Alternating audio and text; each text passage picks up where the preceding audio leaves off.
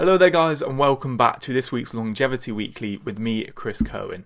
I know it's been a while since I last saw you, but I'm excited to be back bringing you the news and updates from the world of longevity and health. So, today we've got three more fascinating topics. So, without further ado, let's get into it. So, first of all, I want to draw your attention to a podcast that I hosted with Lady Camilla Cavendish. Now, Camilla is a award-winning writer and journalist, and is a regular columnist for the Financial Times. She is also the author of Extra Time 10 Lessons for an Aging World.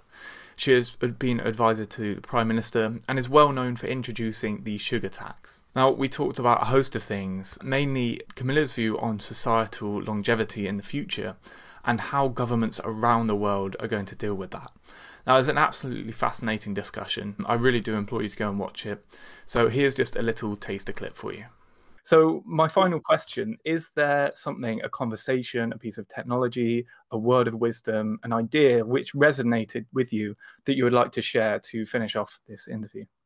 Okay, what I would love to share with you is a nursing home in Holland that I visited, where university students live in in exchange for doing 30 hours a week with the old people. And it's, it, as you can imagine, it is the most heartwarming and it's very much a two way experience. But what I'd like to quote for you is what the manager of that home said to me, which is it used to be that when residents came, they had to fill out 100 questions on a form. Now they only ask you three questions. And the questions are who are you? Who were you? And who are you going to be? And when you think that the average age of residents in that care home is more than 85, that gives you a sense of the possibility and the philosophy that we should apply. Now, secondly, we're going to be talking about a brilliant article written by my colleague Alex, which compares the differences between periodic and intermittent fasting, and which is better for your health. Now, firstly, what is the difference between these two feeding strategies? Intermittent fasting involves severely restricting or eliminating calorie intake for anywhere between 12 and 48 hours, usually repeated once a week or more depending on the duration and strictness of the fasting period. Now, periodic fasting, on the other hand, involves calorie restriction or complete fasting for 48 hours up to a full week, or even longer in some cases. It is usually practiced far less frequently than intermittent fasting, rarely more than once every two weeks, and is sometimes carried out on an as needed basis rather than at specific intervals. Now, Alex's conclusion very much comes down to your ability to fast and the benefits you want to derive from setting yourself a feeding strategy. If you're young and want to lose weight quickly, the safety concerns of a prolonged fast are somewhat minimal, therefore, a periodic fast would work best. However, if you are older, the risk of a complete fast may be too dangerous, and to seek a more realistic and consistent approach, intermittent fasting would be the way to go.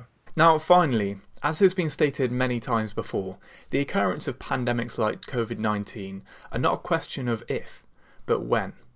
Now, unfortunately, there's no hard and fast rule to say that the next virus won't wait another hundred years until infecting humans. Researchers at the University of Liverpool have developed machine learning algorithms that might help us hone in on where the next coronavirus pandemic is going to start from.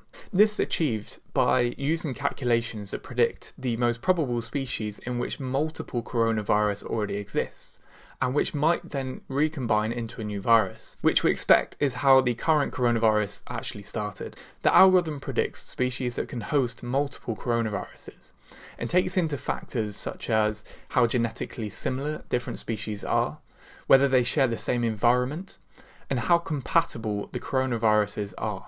The results highlight a wider range of potential hosts than was previously thought, including not just bats, but mammals that have little in common, including monkeys and camels. Now, this information will help us keep a track of these potential species in which new coronaviruses may arise and transmit to humans. And that is it for this week's Longevity Weekly. So thank you so much for joining me. I hope you enjoyed it. If you'd like to find out more, please go to the Gowing Life website www.gowinglife.com, where you can find our articles about 30 things that we learnt this month, and also the longevity FAQs, which answers all your burning questions about longevity and the fundamentals of aging research. So go and check it out. Have a great week, and thank you so much for joining. Goodbye.